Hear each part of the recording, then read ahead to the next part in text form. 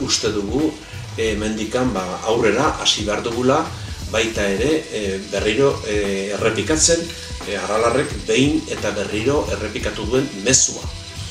E, eta keman behar duen etena da, e, behin betikoa eta gainera da egiaztagarria eta gainera e, izan behar du itzulezina eta gainera eta gainera inolako ordainik edo negoziak eta politikorik gabea etari dagokionez.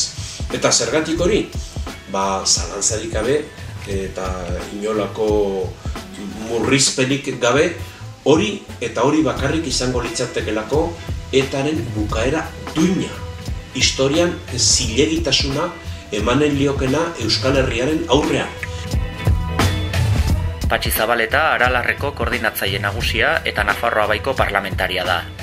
Ezkerra bertzalearen zutik Euskal Herria adierazpena baikortzat eta beharrezkotzat jotzen du prozesu demokratikoan urratsak emateko. Bueno, ba, nik ikusi dut e, batasunak egin dituen bi agerraldietan gai honi buruz esan duela beste urrats batzuk eman behar direla.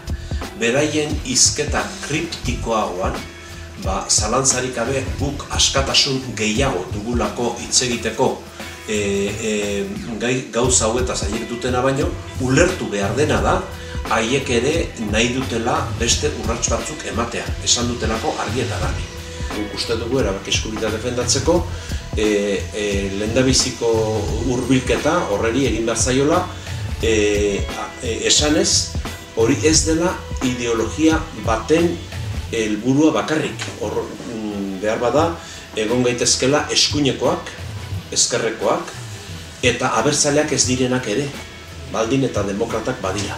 Bazegoela e, gauza bat aintzat hartu beharrekoa eta da hain zuzen ere e, ekintza armatuetan e, etak etena eman duela eta gainera orain dela hilabete batzuk hartutako erabakia dela esanez. Hori da. Hor dagoen gauza positiboa.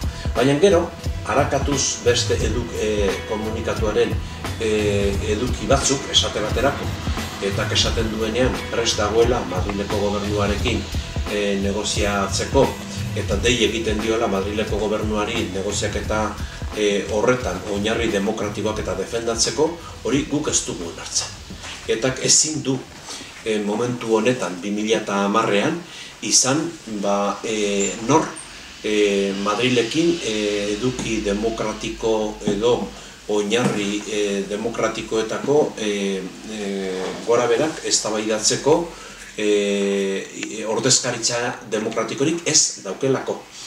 Beraz, e, e, komunikatuan dagoen esaldi horretan, eta esaldi oso garrantzitsua da, e, atzera egiten da, ez bakarrik gauden egoera honetatik, baizik eta atzera egiten da baita, 2008an anoetan esan zenetik ere